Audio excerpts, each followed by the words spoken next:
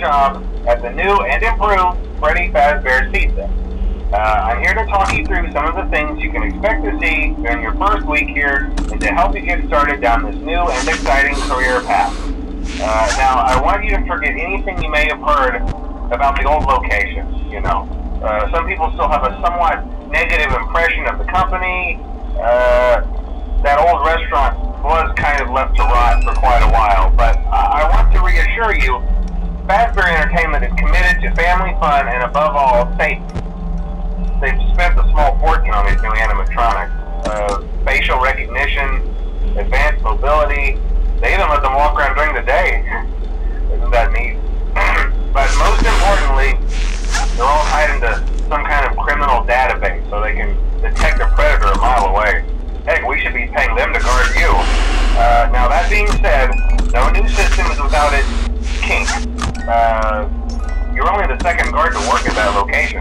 Uh, the first guy finished his week but complained about conditions.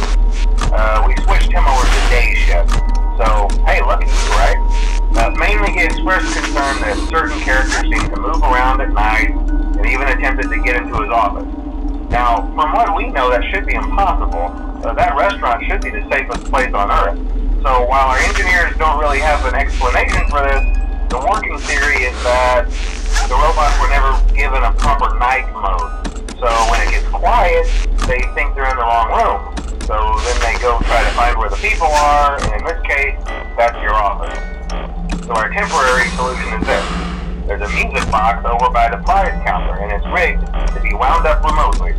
So just every once in a while, switch over to the prize counter video feed and wind it up for a few seconds.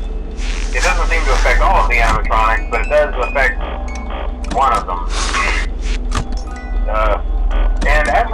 We have an even easier solution.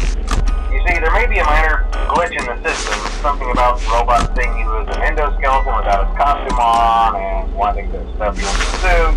So hey, we've given you an empty Freddy Fazbear head. Problem solved. You can put it on any time and leave it on for as long as you want. Eventually anything that wandered in will wander back out. Uh, something else worth mentioning is kind of the quirky modern design of the building.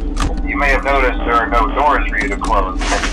Uh, but hey, you have a light, and even though your flashlight can run out of power, the building cannot. So don't worry about the place going dark.